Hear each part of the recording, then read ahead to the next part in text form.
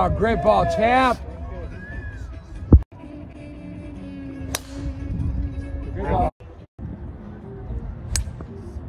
Yes, sir. Perfect, champ. Yes, sir. Perfect, champ. Boxing superstar Saul Canelo Alvarez is enjoying some golf right before he kicks off his training camp for September 30th, his fight against Jermell Charlo. It's undisputed against undisputed. Canelo did an interview. They asked him, Why are you fighting Jermell? He said, I was supposed to fight Jermall. That wasn't available, so I'm fighting Jermell. He said, Why not? It's a great fight. It's a 50 50 fight, and I'm excited for it. Canelo, the pound for pound king, Charlo, one of the best pound for pound fighters on the planet.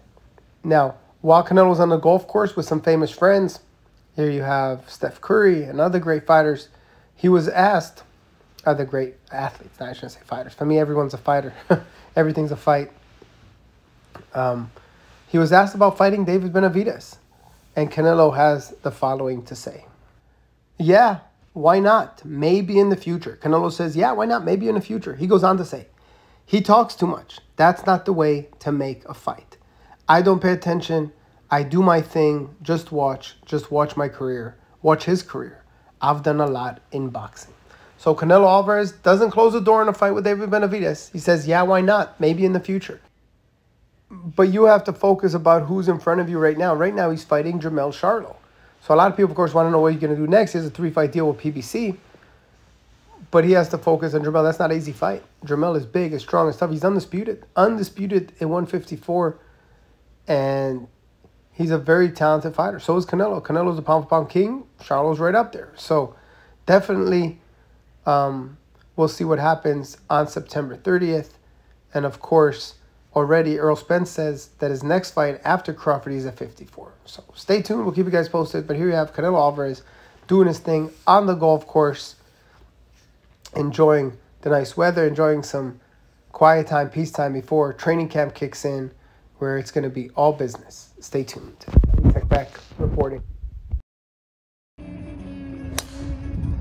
Great ball, oh, great ball champ. Ball. Yes, sir. Perfect, champ. Yes, sir. Perfect, champ.